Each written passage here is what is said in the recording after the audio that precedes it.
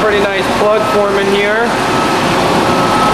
Dumping out quite a big pile of stuff. That's been there for about a minute now, maybe two minutes. Pretty good. So you can see we got quite a bit of press cake coming out here.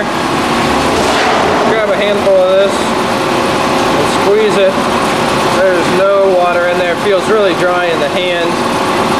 Clumps up. It's damp, there's not a drop of moisture in it.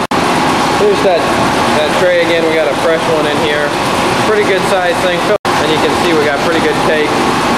Pretty good pile of cake producing there.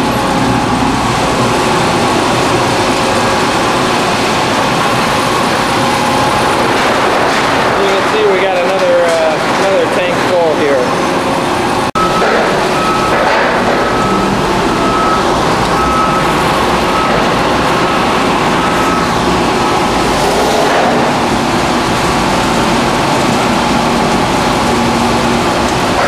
We'll wait and see how how much that fills up in the interim between uh, fillings of emptyings of the tank.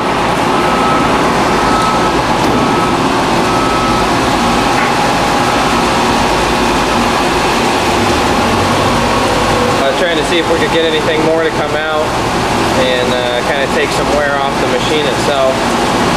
Uh, but you can see we get quite a good pile in, in just a matter of a minute or two. Uh, quite a bit of these, these shells come out. Uh, couldn't notice a difference in press cake moisture with the change of air pressure. Didn't change anything on the moisture.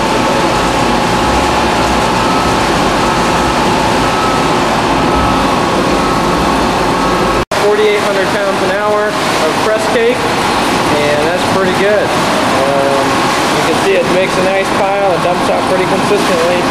Um, did not notice